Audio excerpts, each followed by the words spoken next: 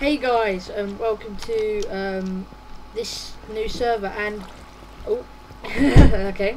So um, this is um, Teddy, as you know, and where's where's e okay? This is Ecat. He's the head Admin. admin. I'm And mod. Cherry, where's Cherry? Where's, where's Mr. Cherry guy? Right there he is. Where's Cherry? Superman. Over Where's here. Cherry? Over Oh yeah, that's Cherry. He's the co-owner. I'm So the mod. basically, I'm just um, and I'm the mod. Yeah, and Teddy's a mod. And this is server is quite a new server, so it's still a lot to be improved by, but it's gradually getting great.